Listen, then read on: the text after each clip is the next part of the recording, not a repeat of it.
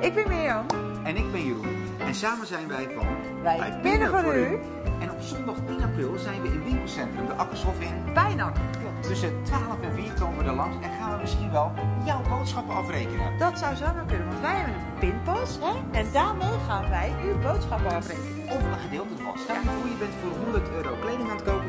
zijn dat wij voor 50 euro mee betalen. Ja, of misschien zijn we dan wel in een goede bui en betalen we hem wel helemaal. Je weet het niet, hè?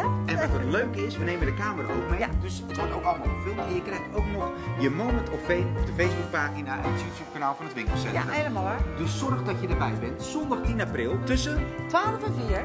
zijn wij in de Akkershof in. Bijnakker. Tot dan!